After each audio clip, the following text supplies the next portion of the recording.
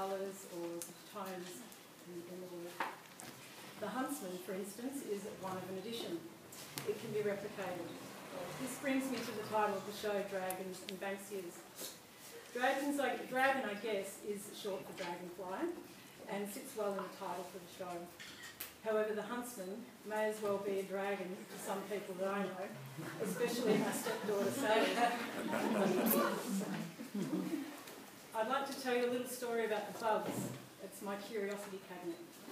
I found the huntsman after a very hot day. He must have been squashed perfectly flat in my car door. And you know how this synchronicity happens.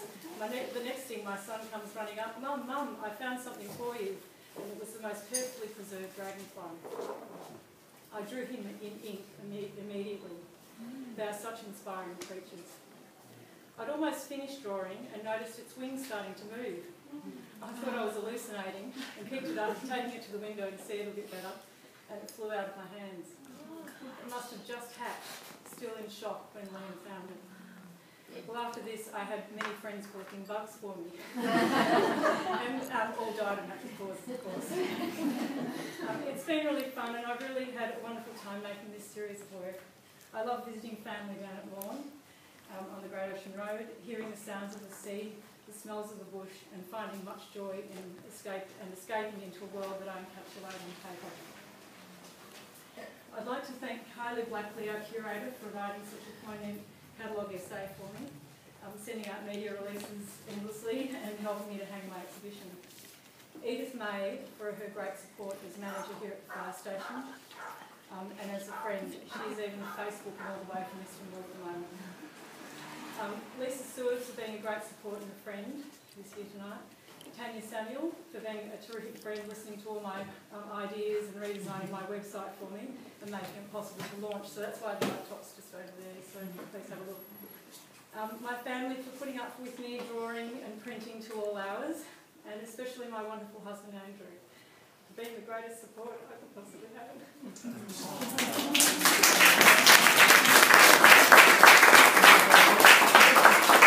Thanks to everyone for coming. Um, I have a little survey, I have two questions, which you might have noticed on the table there. And um, I'd love to know what you, um, what makes you, how the work makes you feel. So please fill that out if you can. Uh, I'd like to introduce Kylie Blackley now to officially.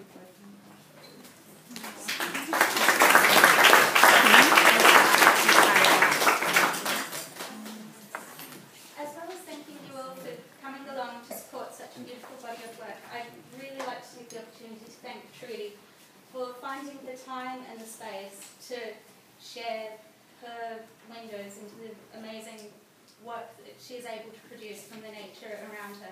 Being able to share the beauty that she finds with all of us is so important and I just have to say thank you for finding the time and space to do that.